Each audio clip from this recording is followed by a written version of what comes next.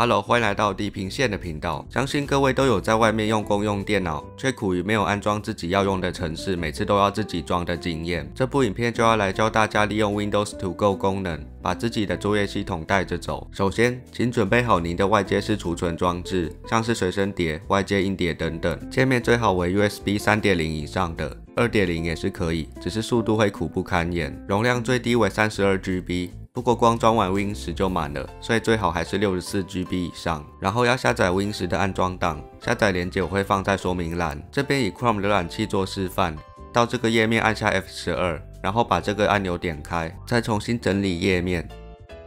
这时就会发现网页变了，按下 F 十二，再按选取版本，选 Windows 十，按确认，再选您想要的语言版本，这边以繁体中文示范，再按确认。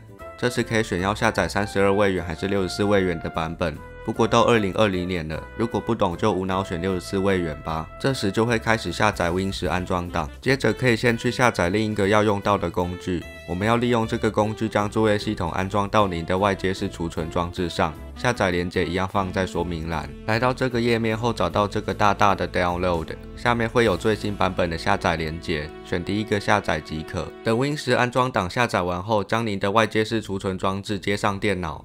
再把这个工具程式打开，如果装智能栏没有自己的储存装置，就把这个勾点开，这样就可以选了。然后按下这个选择按钮，再选刚刚下载的 Win 十安装档。印象档选项选 Windows To Go。资料分割配置不懂的话，就选 MBR，相容性比较高。这个勾建议取消，然后按执行。接着可以选择要装哪个版本，这边以专业版示范。按 OK 后再按确定，就会开始装 Win 十了。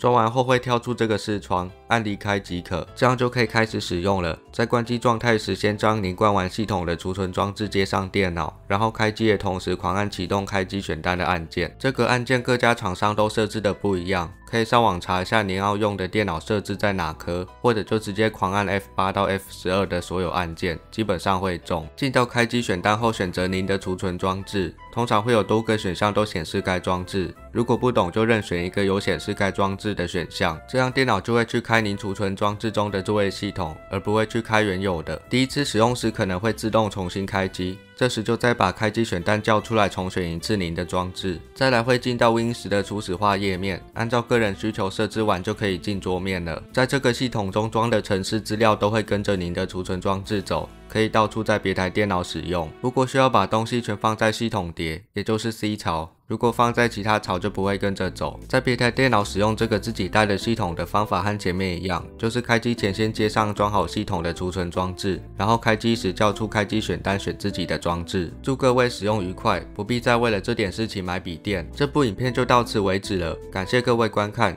喜欢的话请帮我按个赞。顺道一提，百分之九十八点九的人看我的影片并未订阅，所以拜托请订阅一下。那我们下次见，拜拜。